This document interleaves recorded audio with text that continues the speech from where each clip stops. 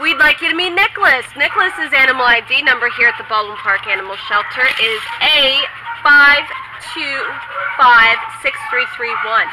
Nicholas is a 11-month-old Belgian Malinois.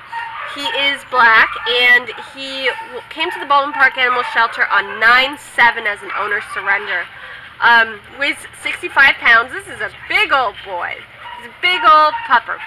Um, he is just he is he's got uh, quite a bit of energy. Um, he's going to be great in an active uh, household.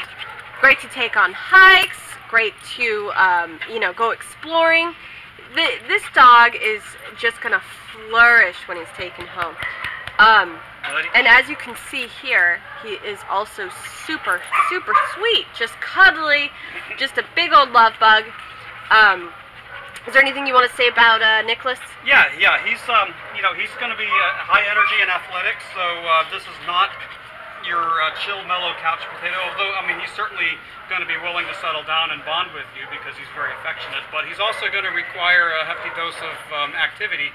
Uh, so we prefer to see him. Um, uh, you know, go to an active family or individual who's willing to take him out on those long walks or you know, long hikes, runs, whatever.